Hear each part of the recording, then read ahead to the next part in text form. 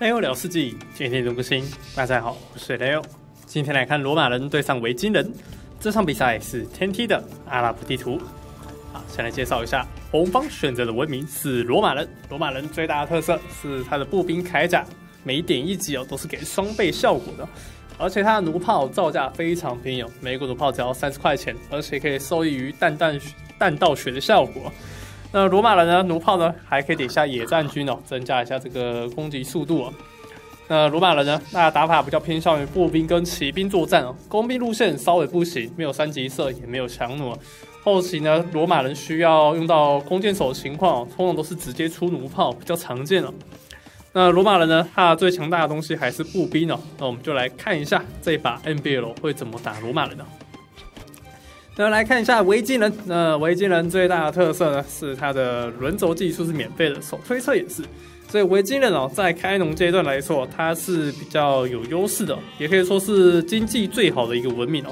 但维京人他后期的科技有非常不足啊，没有品种，也没有大肉马，而且也没有三级马凯，而且后期没有火枪火炮，那也没有重型投石车，这是维京人非常可惜的一点。但维京人呢，它本身哦是有这个强弩可以用的，但是没有拇指环。但有维京狂战士帮，可以让强弩的伤害高达十一点。那后期的弓箭路线哦，还算是可用的，算是堪用路线。那主要呢，还是要打他的步兵路线哦，有血量加成。那维京人的步兵呢，算是比较偏好用的。但步兵这个单位在四帝国里哦，还是要到帝王时代后期哦，比较常出现哦。好，我们来看一下，两边都是一个步兵文明哦。那罗马这边是步骑文明哦，那维京人这边是步弓文明啊。那步兵对决呢，我觉得都是蛮好看的。跟打法来说，我不会一堆骑兵在那边乱窜啊，都是步兵要先思考后怎么 A 过去哦。好，NBL 这边侦查一下，那这边维京人蓝方是 Hart 啊，两边的选手都是天地上常见的。呃，来看一下这边，哎，这里是不是有个洞呢？哦，没有，这边是高地啊，所以看起来是有洞，但其实没有啊。好，罗马人这边已经点下了军营，要不要打棒棒呢？这边按棒棒的话有点太慢喽，那要不要再补一下？还是决定不打呢？它这张地图有点算是半天图了啊。那为什么是半天图？它没有石头在里面，如果石头也在里面的话，那就是天图中的天图了。那这个情况来说的话，算是还不错的图啊。那如果对方打塔空、打塔攻的话，是很难去对塔的，所以没有到完全飞上天，而且牧区只有两片哦，没有到三片牧区。好，那我觉得算是偏小天。好，那罗马人决定还是要来打一个棒棒快攻。那维京人这边是直上工兵哦，但你看这个棒棒，就算这个时间按出来啊，维京人早就已经有对应方法了，工兵已经第一次在按了啊。所以说，这里按棒棒可能做到的能做到事情可能不多，遇到弓箭手可能还是要拉打一下，甚至有点被压制住的情况。好，这里由于黄金不够的关系，赶快去按个毛兵，然后待会再挖出四十五块黄金，好就可以继续按工兵了。好，这里补个房子，后面要点下一级农田吗？然后来撒农田，这里还会滋养，可以再吃一阵子。好，好，两只弓箭手要往后撤。这边高打低，伺候打输哈特，这边打出 M B L 的罗马步兵，啊，罗马伺候，尴尬了啊！呃，高打低反手回去，结果没有打成啊。好，那哈特这边细节也是做好，点下了一级农田。那 M B L 这边是先点上一级农田，先稳住农田的肉量，再去点这个一级伐木，因为自己的肉可能会很不足啊。好，两只工兵过来，点下一级伐木。NBL 这边的升级比较弹性一点点啊。好，那点下一级伐木之后，有一级农，现在这边要撒撒农田就可以撒农田，但现在农田还不需要撒，因为这里还有一只羊可以慢慢吃，吃完之后再去撒农田就行了。好，那目前弓箭手两只，第三只也出来。NBL 这边的棒棒已经没有办法继续压制对手，所以这棒棒真的是什么事都做不到啊，按的时间真的是太慢了啊。想说二十 P 上去还没有马上点棒棒啊，那就是秒打了。结果硬要打的结果就是做不到任何的事情啊。好，这边毛兵出来，第一时间反击工兵，工兵血量很残，直接被收掉一只。第二只毛兵也出来了，弓箭手要拉打吗？呃，这边细节操作很困难哦，要把工兵去打棒棒，那毛兵要去打对方的毛兵，这个操作来说是非常困难的，工兵要一直往后走才行。那么毛兵有机会就往后打一下，把对方的毛兵收完，工兵才能做事。好，NBL 这边把对方的工兵全部收掉之后，赶快把毛兵往回拉。但是棒棒也是想要追毛兵，但毛兵有这个射程优势，说追起来还是有点困难的。好，这边高打第一。好，再次激活一下。好，现在变成毛兵大对决。啊，应该就是小打小闹了。这个棒棒打完就差不多了。好，NBL 这边没意外的话，会赶快升到城堡 style。这边黄鸡待会赶快补个采矿地就差不多。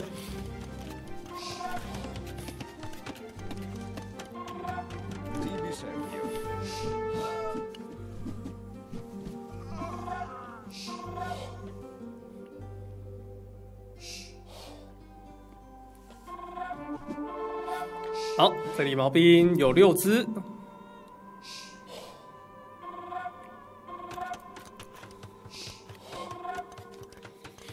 这里有九只了。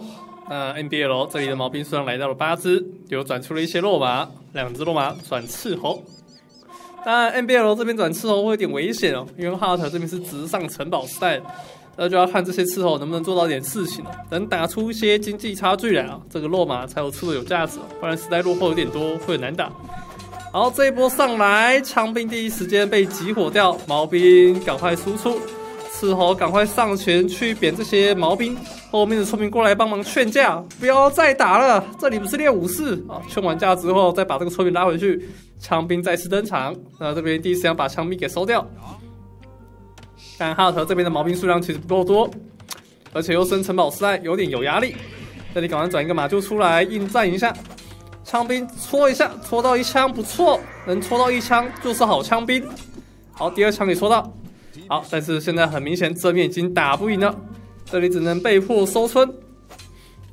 好，NBL 这时候才去补下织布技术啊，哇，这么偷的，好，点个织布，准备来升城堡时代。那 NBL 看到对手 Heart 这边的兵力这么少，应该是有意识到对方经典城堡时代了。好，那这边硬点城堡时代下场，Heart 这边是直接爆炸啊，红田都被控住，但还好这边再蹭一下，待会骑士出来就可以解围了。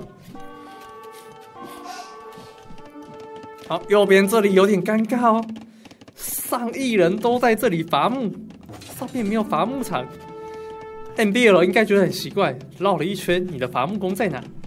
这不对呀，没道理。要不要往后再看一下？不觉得后面有点凉凉的吗？不觉得后面有一些伐木的声音吗？NBL 没有感应到吗？他不会觉得很怪吗？看你的伐木工呢？好，这里枪兵，哇，没有收掉。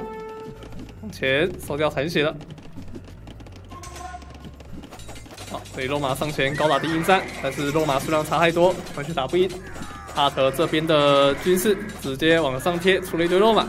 好，转出骑士这边直接用枪兵配上肉马，直接收完剩下的毛兵。NBL 这边底下城堡时代好一分半，这一波直接送光所有的兵力，也没有让他收村，有点可惜啊。因为这一波在这边拖越久，越容易被对方打一波带走啊。所以我觉得这边还是要赶快往下去绕一下，让对方有收到村哦，或是干扰到一下村民哦，就有赚。好，但不管怎么说，这一波正面打完之后，NBL 还没有输啊。虽然看起来哈德这边是优势非常巨大，然而事实上呢，哦也是蛮巨大的，因为他已经有免费的手推车了。哦，这个经济哦直接起飞哦，然后开下三 TC。好，这个三 T C 开下之后，经济就会很好。来看一下现在维京人经济赢多少？哦，这个罗马人现在还赢了一千经济啊！哎呀，没想到 N B L 这边经济控的更好，有可能是这边刚刚收村哦，让他经济有一段时间没有办法正常运作。好，左边这里有补了两个马厩，准备出骑士。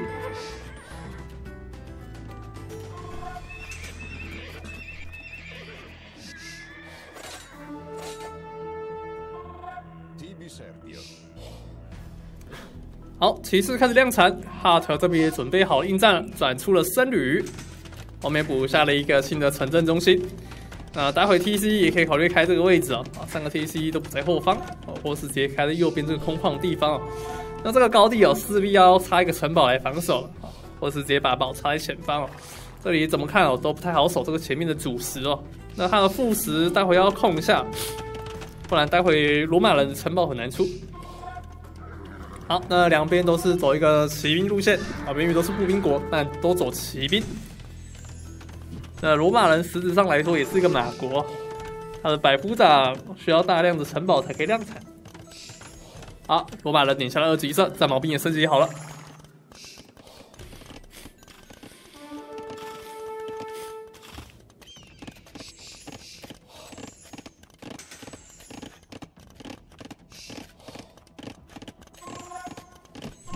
好，NBL 这边是决定要打一个。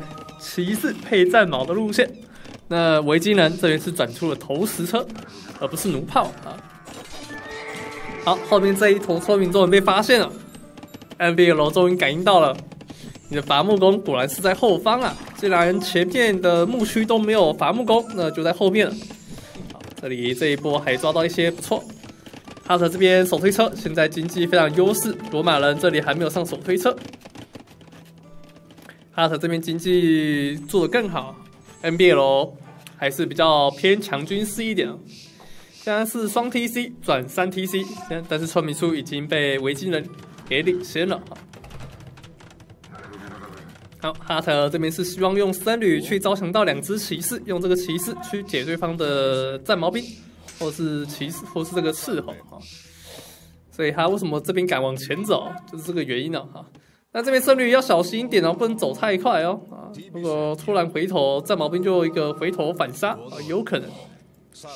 好，回头反杀，这里要小心。OK，投石车给掩护。好，围巾还没有升重装长枪兵哦。好，僧侣招一下，这边有四爷把对手逼到角落，斥候想要去砍掉这两只僧侣。然后被逼到最极限的这两只骑士可能要删除，这来得及跑得掉吗？好像可以，但是这个选到枪兵的关系，所以骑兵的移动速度被稍微下降了。上面的战矛兵两遇到两个投石车，僧侣过来想要招，但是往回招降的枪兵，这里这只僧侣应该是倒不掉，这里直接打打到了骑士的身上，骑士两只赶快上前冲锋，想要解除掉。投石车，结果被后方的僧侣给招降掉，最后是一只骑士被砸死，一只骑士被招降。好，后面又产出了更多骑士来解掉这些战矛兵。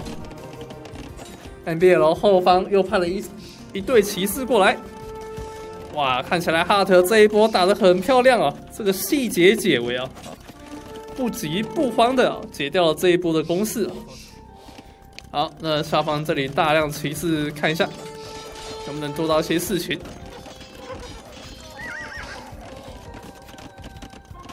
好，维京人这里是补下了军营，要来转重装长枪兵的。大家应该会先先点帝王时代啊，再去转这个重装长枪兵。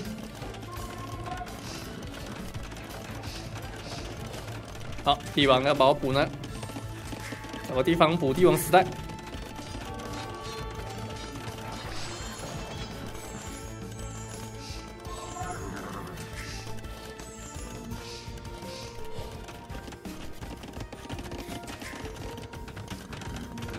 好，城堡补下。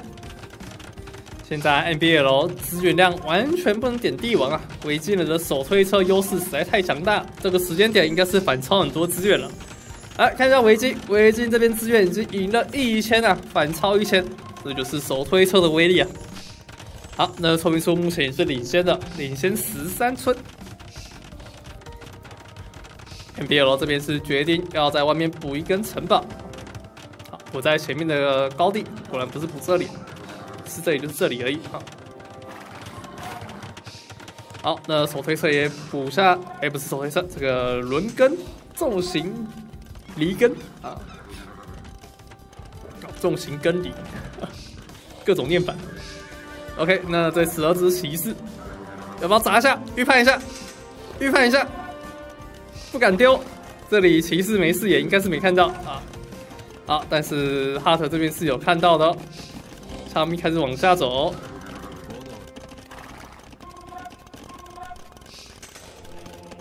好，中装长枪兵也升级好了。枪兵升级好之后，这个骑士输出就很难去尽情发挥了。好，踩到这个哨站。好，维京率先转步兵，但是维京人的步兵有个问题哦。他的他是没有骑兵的文明的，所以他的重装长枪兵呢，实质上来说还是游戏里面哦枪兵血量最多的文明哦啊，六十六滴血，但是他有酋长科技哦，还是可以再增加重装长枪兵对这个骑兵的伤害，所以没有到说完全不能打。但我今天来说，他没有枪兵没有骑兵的关系，所以。好奇哦，重装长枪兵在互打情况下很容易打输对手。跟正常枪兵是六加四点的伤害哦，那重装长枪兵这边是四加四哦，八点，伤害是差了两点。OK，这边投石车差点被收掉，但是用僧侣直接招降掉。好，直接点下三级的步兵铠甲，这边要打阵地战，巨型投石机赶快开拆城堡。NBL 这边骑兵在这里没有办法做到太多事情，看要不要再往家里绕一下呢？好，那维京这边转出了维京狂战士。那维京狂战士这边血量有点少，只有六十五滴血，升到精锐只有七十四滴血。那就是官方应该让维京人的步兵血量再提升一点点，可以让维京狂战士到达八十滴血哦。它的使用程度会完全不同。好，结果维京人这边发现自己，哎，对手是转出了大量弩炮，那我就转投石车，投石车打弩炮是轻轻松松的。嗯，找到。好，巨型投石机。好，待会就把所有的黄金投资在投石车上，巨头、中头，然后用所有的枪兵去防守这些工程器单位。那罗马人要打赢这种阵型哦，最简单的方法就是转出军团兵哦，或是大量百夫长。那百夫长对上酋长的枪兵来说的话，打久还是容易输哦。所以 NBL 这边要打赢这面是很不容易的，毕竟军团长。被投石车砸到还是会蒸发掉的。好，这边就要看一下 NBL 后期的召唤。好，这里使用围巾狂战士想要去打一些村民，但这边已经围死，没有机会。后面补了一根新的城堡，这里围巾狂战士没有办法做到任何事情。好，巨型投石机继续进攻当中。维京人补下了新的大学，这里要转工兵吗？是不是有在提防大量步兵呢？因为现在大量步兵的话，哈特这里是挡不住的啊，只能用投石车去挡。枪兵是打不赢重装，打不赢军团兵的。好，NBL 这里还没有要转步兵路线，还是想要继续走骑兵。毕竟已经点了品种了，想要继续投资骑兵路线吗？但骑兵路线打维京阵是不太适合啊。但对方如果转步兵的话，NBL 这些弩炮也没有办法去打对方的投石车，除非用巨型投石机去预判一下中投。但是现在巨型投石机忙着在打后方，巨型投石机啊，忙着反击回去。好，这边重头想去偷砸一下，不知道有没有机会砸到呢？还是要硬扛下城堡的输出。舞台直接硬点硬拍拍掉这个重头，这个中头有没有可能？呃，巨头不是重头。OK，四台巨头直接拆除，这边低打高顺利拿下。好，但是有一台巨型投石机被打掉了。好，这边点下救赎思想，可以招降工程器单位。炮上前串烧。好，直接硬招。好，投石车上前硬砸，砸掉了。但是投石车全被叛变，回去反头一砸，砸掉两台巨型投石机。嗯，BL 这边的招神打得非常漂亮，后面的弩炮输出非常开心。但是还有一台投石车还没有解掉，弩炮遇到投石车还是要往后撤。现在神女的话只剩下两只都在 CD，但是最后的一台重中型投石机也被解掉了。这一波交战，两个兵都是血头破血流啊！哇，这个中头全部被解光，维京人有点亏啊。呃，罗马人这边要补更多的僧侣哦，才能防得住。好，这边送掉了一些战矛兵，又补了一根城堡。但 NBL 这两个城堡是最后的希望，这边要来看一下能不能收掉。那这边要考虑打个多线。那这个骑士一直没有机会去点下重装骑士。阿才这里补下了更多的农田，看来最后还是要走步兵路线。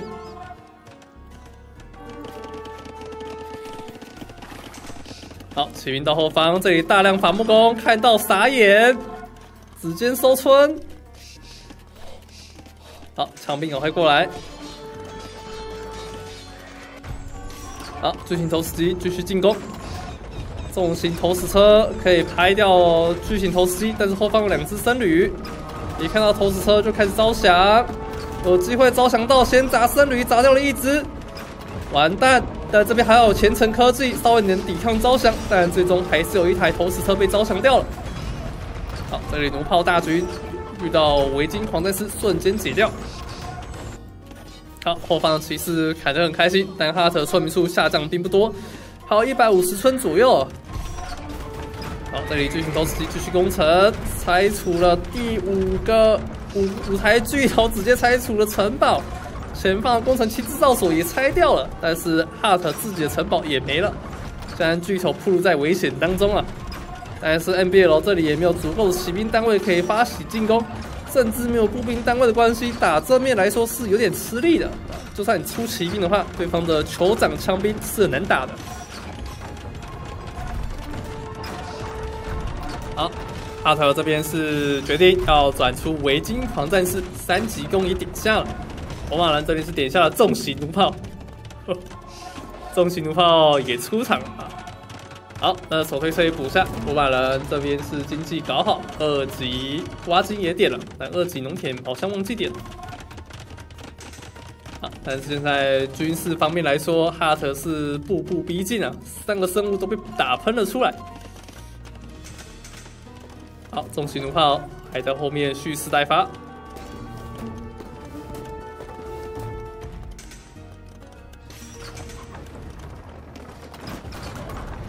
好，巨型投石机架起来，拆掉这个城镇中心很快速啊！哇，这个腹肌没有拿回来会很伤哦。阿特这边赶快进攻金矿，NBL 这边要想办法去阻止对手，但现在要转出军团兵有点不切实际，因为自己的肉有点少，而且升到军团兵了还需要一段时间啊。所谓 NBL 有办法先暂时夹住哦，然后赶快偷偷转军团兵出来，才能正面打赢啊！现在 Hart 的这边的部队啊，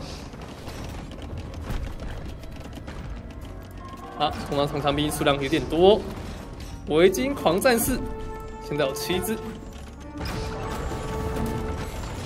好，虽然弩炮打步兵很方便，但是遇到中投就不方便。还好罗马有救赎思想，所以赶快招。哎，找到一个吧，没有办法。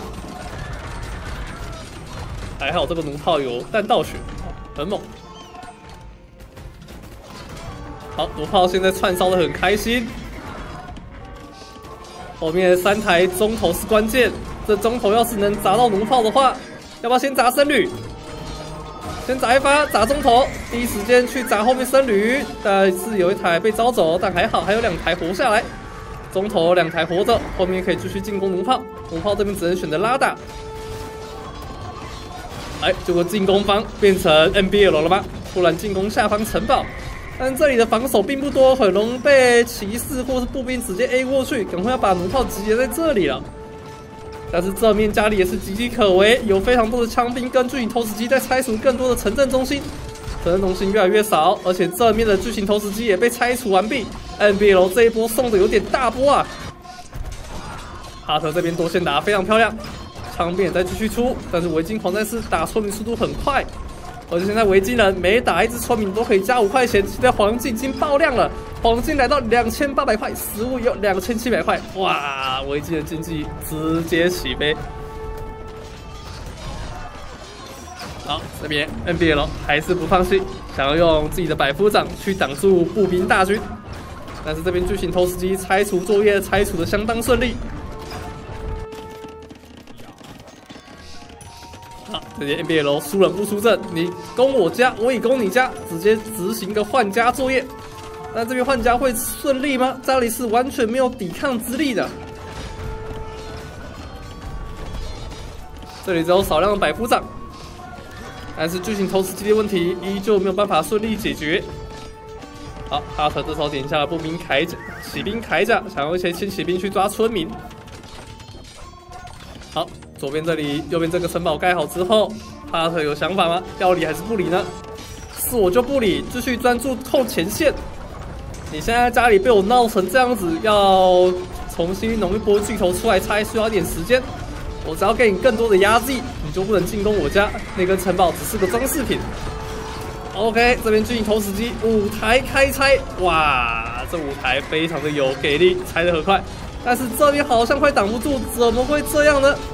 百夫长这边努力输出，但是重装长枪兵数量有够多，NBL 的弩炮也被步兵给贴到，也被踢到之后弩炮全部挂彩，但是后方有更多的弩炮出现。好，现在用弩炮想要挡住大量步兵，这 OK 吗？现在上方已经一片狼藉了，NBL 村民已经只剩下一百村不到。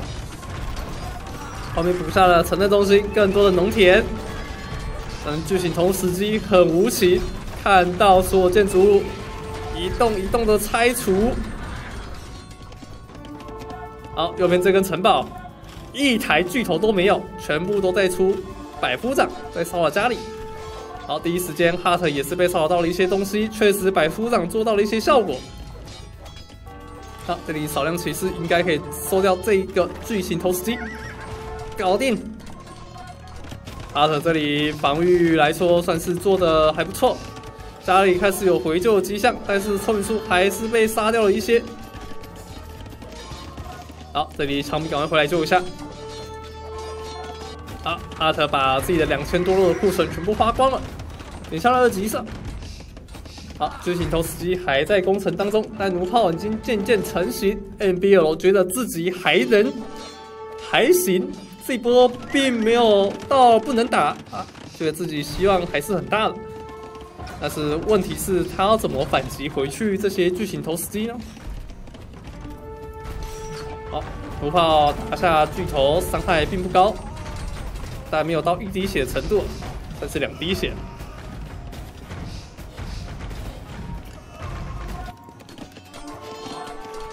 好，百夫长这里被戳烂，直接死光光。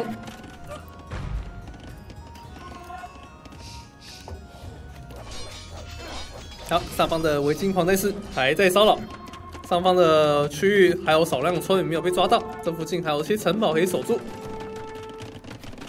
好，两边都是被骚扰到了一些。好，NBL 这一栋城堡应该要被拆掉了。哈特三台巨头已经架起来，这边要驻守一些枪兵。OK，这里有左边的位置，看一下这个金矿，这个金矿相当关键哦。只要继续守住这个金矿，NBL 就迟早会断金的。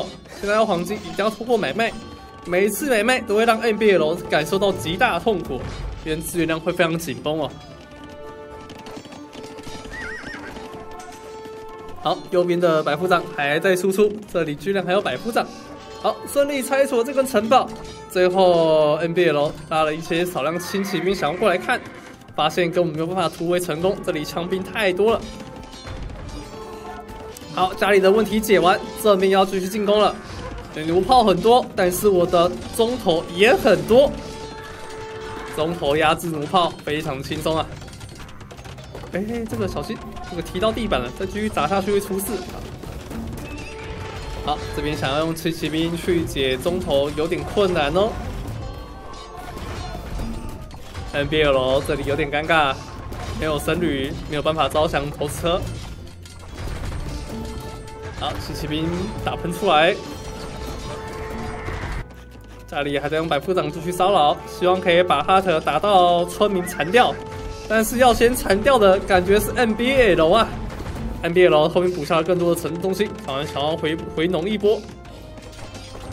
但这里回农又是如何呢？这里的金矿被拿掉，你没有黄金，你只有木根木材、木槽跟食物，那要怎么打？难道 NBL 有对策？没黄金的罗马打法，让我想一下，似乎是零诶。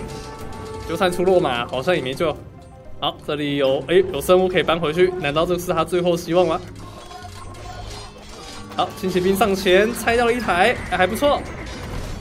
好，最后还是有拆掉一台投石车，但拆一台投石车要花到五百多肉啊，相当不划算啊。好，黄金开始有生物慢慢产生出来。NBL 搬家搬得很勤奋，从左边再往上搬。那待会哈特开始要全力进攻上方的地方了。生物刚捡完，修道院的里面生物又被打喷出来，好尴尬。好，哈特这边买卖一波，卖了一千五百的木头。换取了两百八十七块的黄金，现在资源啊，三种资源都有破两千啊！再慢慢耗也可以耗死 NBL，NBL 这边非常头疼。好，哎，听到这个，NBL 的经济看起来是快要撑不住了。